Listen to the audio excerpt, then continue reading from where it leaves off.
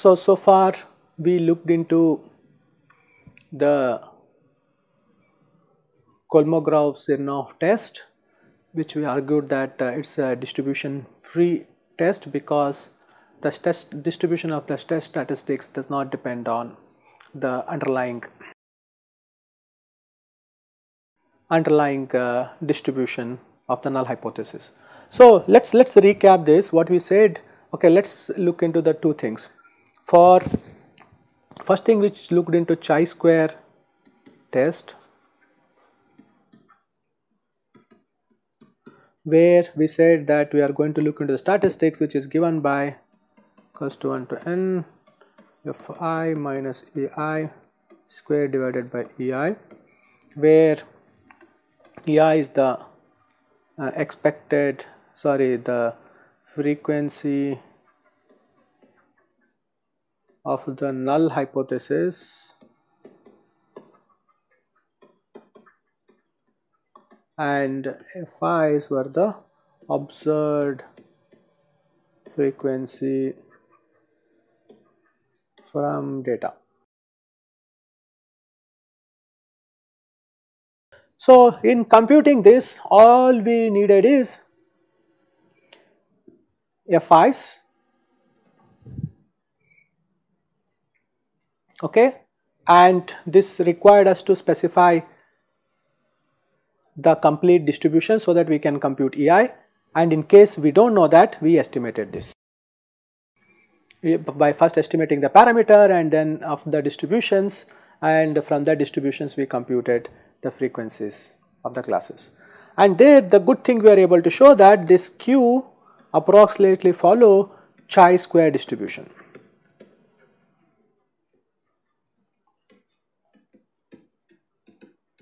In particular, when we said that when the distribution is completely specified, we said that and we have to we have k classes, this q was exactly chi-square distribution with k minus 2 degrees of freedom. Now in KS test, and again there were two things here, here we said that this is for discrete case.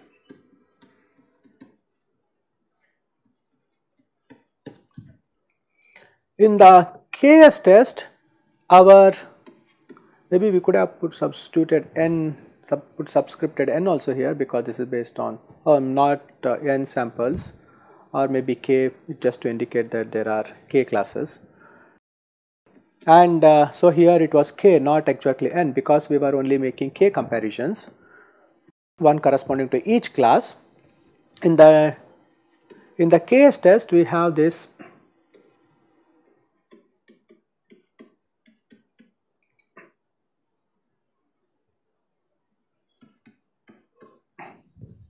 and uh, and here okay k q was chi square distribution distributed and uh, independent of the underlying. So okay maybe independent instead of irrespective of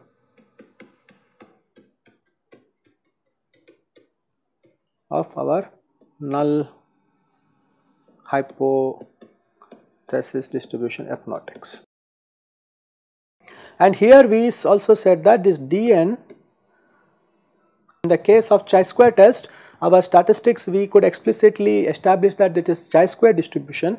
In dn all we could argue is that it is its distribution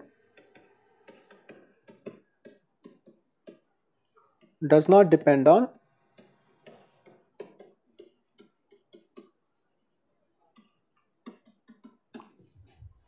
So, we did not explicitly obtain the distribution of dn all we said is one can compute them and they are available in the form where dn alpha values will be specified from which we can obtain the alpha uh, critical points of these distributions. And again here it was for continuous distribution.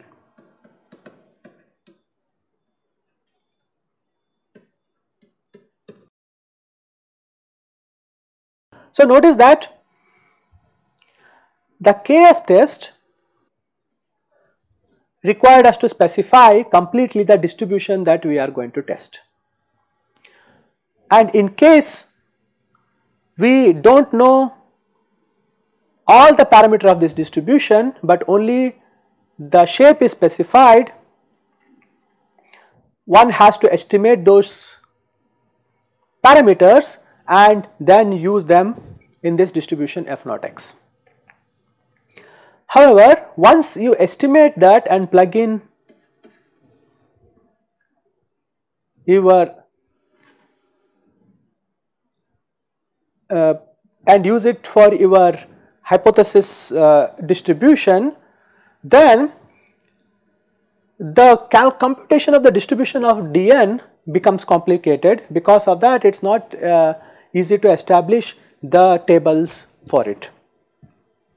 And in fact, it so happens that if you pretend that whenever there is no parameter specified of your distribution, but if you even if you plug in the estimated one and pretend that that is the actual that is the true value and continue to use your DN tables, the values you are going to obtain can be very conservative and because of that you may end up making more errors in accepting or re rejecting your uh, uh, distributions. To somewhat overcome this issue, we have another test called as let me make sure that I can uh, write the spelling correctly. We will be looking into Lillie force test. For short, I am going to just call it as L test to check my hypothesis whenever my underlying hypothesis that I need to test is Gaussian.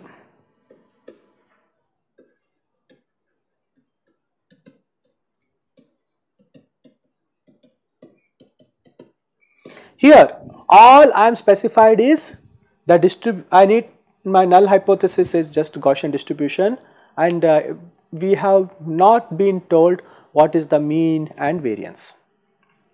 Okay, so then I need to check whether my data samples I have they follow Gaussian shape. How to go about this? So now that's where Lillie force contributions come into picture.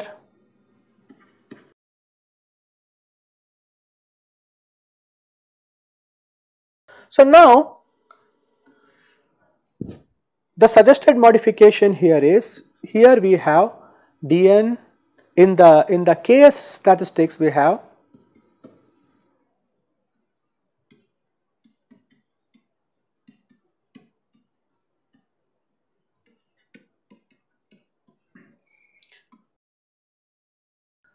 So here it worked on all points x.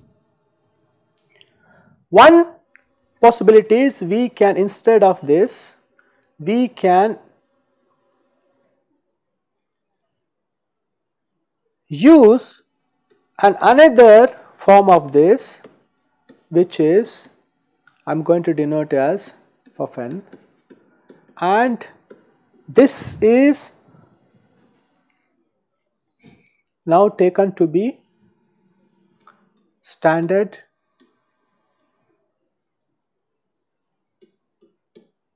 normal distribution. Okay? That we have earlier denoted as phi of z. Now before I use it we are going to do some transformation on my data. Instead of looking into all the x's that I have, we will be looking into the transformed one and how I am going to transform is like this. And here x bar is simply the mean empirical mean of the samples I have observed. And s square is my standard empirical uh, variance. And uh, this is like i equals to 1 to n xi minus x bar whole square. So notice that I am as we did earlier I am using the denominator n minus 1. So to ensure that my variance estimator is normalized and uh, here s is I am going and I am going to take its square root to get my empirical standard deviation. So now we know that roughly Z we have basically centralized and normalized. So this is roughly going to behave like a normal distribution with 0 1 and now I am going to compare this with uh, basically the standard normal distribution. Okay. So now everything remains the same and uh, again the distribution of this can be computed not in explicitly form but maybe uh, through some empirical evaluations.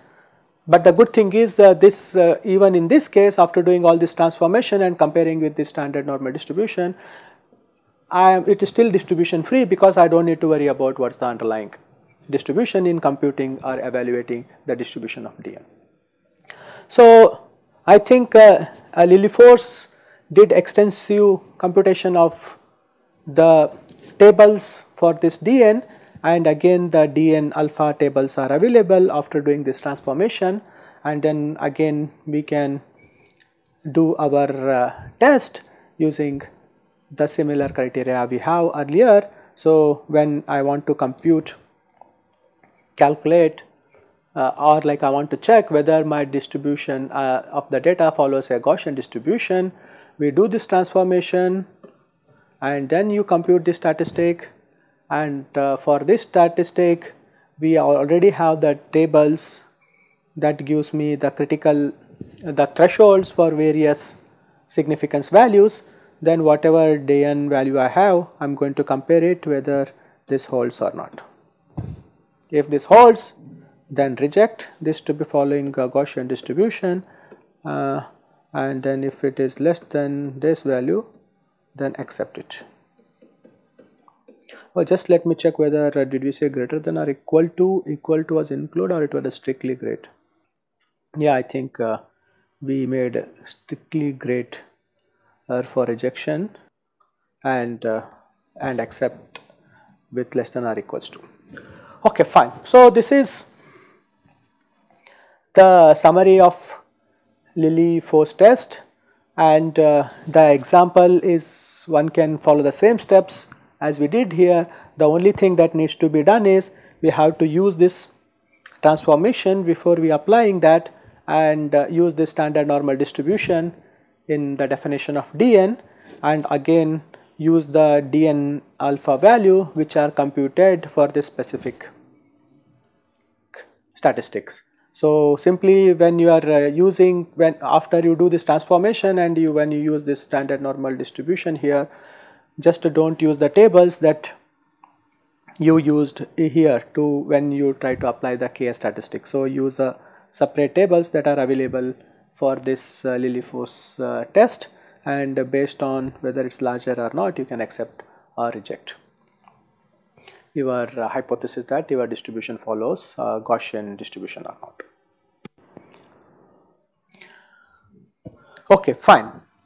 Now, this is all we computed. We did, we studied several methods about uh, whether uh, whether my data follow certain distributions and uh, if uh, the distributions are kind of fixed we are only not sure about the parameters then we also studied various hypothesis test for that. So we studied various parametrics and non-parametrics method but often before we get into this parametrics and non-parametrics method, one can do simple visualization of the data itself and see that whether the data is following my hypothesis distribution. So for that there are various methods I am going to quickly discuss two of them. So, this is something called exploratory data analysis.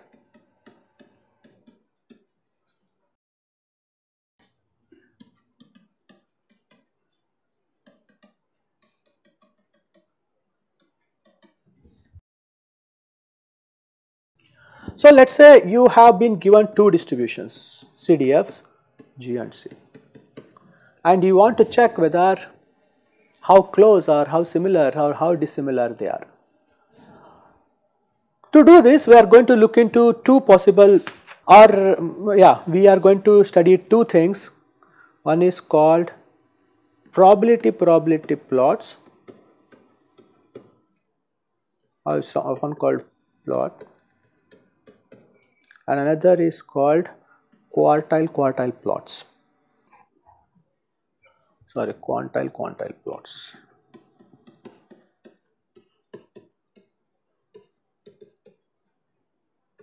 called QQ plots. So this is what we what we are trying to do is exploratory data analysis for goodness of fit here.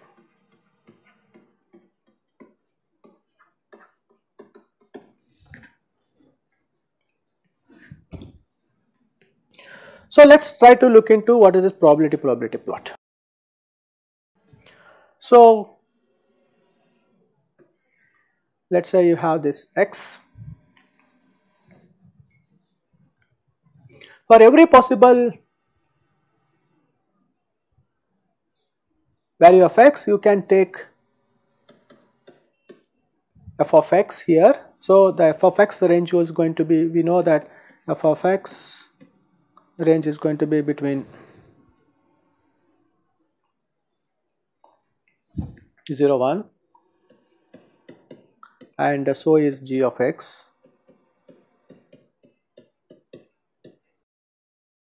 So on the x axis you are going to take all possible values of f of x and on the y axis you are going to look into all possible values y axis represent all possible values. So, let us say this is 0 1, so this is 4. So, this is like you are looking into this box here.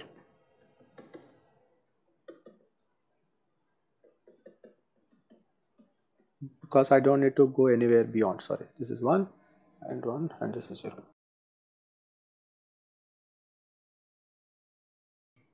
So, let us draw one line with slope 45 I, I would say from this uh, figure you can see that this is not exactly a square shape it is looking more little rectangular but assume this is just like a square here. So, I have drawn a diagram which has a slope of 45 degrees.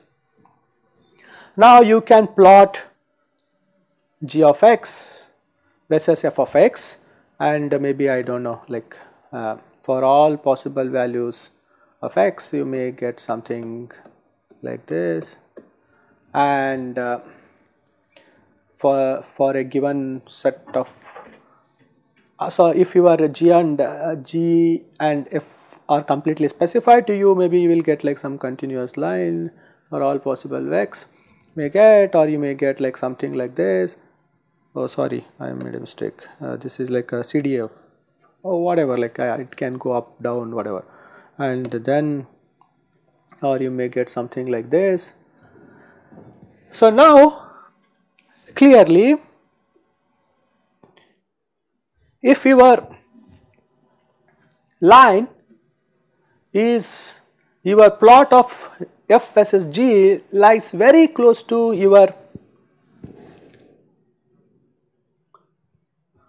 45 degree line then you can claim that your data is following up you can say that these two distributions are similar right and if it is uh, too much off from your 45 degrees then it kinds of gives indication that maybe the these two distributions are different maybe you need to explore this data more or uh, at least uh, do further systematic analysis uh, to actually say that okay the, you can declare that these are very different. Similarly, instead of going for PP plot, one can also do QQ plot. So, what is QQ plot doing? Instead of simply plotting F and G, we can plot F inverse of P and G inverse of P and here P has to be between 0 and 1, right.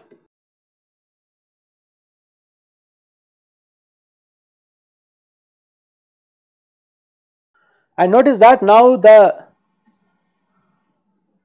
range of F inverse P and G inverse can be like entire real line. Right? Now again we can do the same thing is here. So for all possible of P values where P is between 0 1 you get the values for particular let us say this is a particular for a particular p let us take a particular p and uh, this is one value corresponding to that then I will get like this is corresponding to let us say this is like f inverse p and like this is like a g inverse p I will get this one value for a particular value. And uh, like that you do it for all possible values of p ranging between 0 1. So, for every possible value of p you will going to get a different lines. And uh, you see that if f inverse is same as g inverse you are again going to get a 45 degrees line which is going to pass through. Okay? And uh, if they are not, then you are not going to get a line which is going to be close or overlapping with this 45 degrees. And based on that you can based on whether your line is going to be closer or how far from your 45 degrees line you will get a sense of whether your data is going to follow the given distribution. Or like uh, in this case you will get a sense of whether these two distributions are same or not. Using this, we can now think of comparing what we have. I have this SNX which is computing from my data and F0x which is from my null hypothesis can compute. Okay. Often in this case instead of the PP plot QQ plot become easier to plot because of the properties of SNX. So what we know SNI first of all takes value discrete values right like 1 by n, uh, 0, 1 by n, 2 by n like this. So because of this I need to when when I have to look into the QQ plot I have to look into Sn inverse and F inverse right. I only need to calculate this Sn inverse at this discrete point. That is I need to calculate Sn inverse uh, at um, uh, like at x where x is this quantities 0, 1 by n, 2 by n, n. And moreover, once I have this given data x1, x2, xn and I have this ordered them and I have this order statistics. I know that Sn inverse at let us say some i by n is exactly equals to x of i. We know this right already. This is the property of your uh, uh, empirical distributions. So, because of this let us say you are plotting your QQ plot, your x axis let us say if you are going to plot you, you are going to make x axis corresponding to your empirical distributions. So, these points are going to be simply x of 1, x of 2 like this. Maybe this will let me say I like this. Okay. And uh, so this is like corresponding to um, 1 by n and now on the so now whatever this corresponds to now on this this has this this point corresponds to where your f of 0 is let us say 1 by n and here this one corresponds to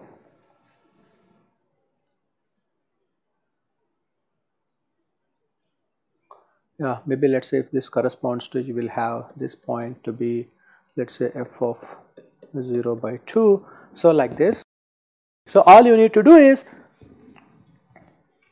on your y axis you have the points f 1 by n and f 0 2 by n. And uh, the corresponding points on your x axis is going to be x of 1 x of 2 and now you need to see you have these points and uh, let us say this is uh, corresponding to f 0 of i by n let us say this is this you need to take the point through them and see how close it is to your 45 degree line. Okay. So, this gives you uh, when you are looking into the QQ plot against your empirical distribution when you are comparing QQ plot of your empirical distribution with that of the null hypothesis, your kind of x axis, you know which points you have to look into, on the y axis, you know which points you have to look into, so you know what is your curve and all you need to do is uh, check whether that curve has a 45 degrees slope. If it has a 45 degree slope then are very close to that it's a good indication that this must this uh, uh, your data is following null hypothesis distribution otherwise you need to do some more confirmatory tests like what you have done before. Okay, um, okay one small issue with this is like we know that when we have this x of n here right. So, x of n this will correspond to the point f of n by n right. So, this should be this should be inverse inverse inverse here right. Now, this will correspond to when you have x of n here this will correspond to f inverse n of n and we know that f inverse of 1 is infinity. So, because of this at uh, this at as n is when we are exhausting all the n points uh, when you are reaching my last point of my order statistics my f inverse is tending infinity. So, often to overcome this issue the packages will do slightly different things so what we have here is actually, so what we have is when we are going to plot this, what we are basically doing is f inverse of i by n and x of i. And uh, we are plotting them like this is for, uh, we are plotting them i equals to 0, 1, 2 up to n, right? And uh, here when i becomes n this point is at infinity the y axis is infinity. So, most of the packages to overcome this issue they will look into the slightly modified version of this. I am directly taking it from this like mm, this maybe they will do some small alteration to this by taking i minus 0.375 divided by n plus 0.25 and then do this. So, when i is becoming n you need to do some corrections so that you are not hitting infinity on your y axis. So, one of the um, some I am just mentioning uh, that there could one of the possible correction is to do this so that uh, you can still observe some value on the y axis and this is just one of the examples you may do various uh, different combinations so that you can show something still on in your plot. Okay, so often even though we discuss this exploratory data analysis at the end, maybe this is the first thing you want to do. You want to just uh, draw your QQ plots, PP plots and see how close they are, how close they are compared to the 45 degrees lines. And if they are pretty close you get a good confidence that okay your data is as per your null hypothesis. Otherwise maybe data is not enough so you need to do some more test and that is where you can revisit all the hypothesis testing we did or uh, when uh, your uh, distributions are parameterized and uh, or uh, uh, you want to use a full knowledge of the distribution or you can use non-parametric methods when you do not want to use the knowledge of your distributions to make this test. Okay. So, with this we will conclude this. Thank you very much.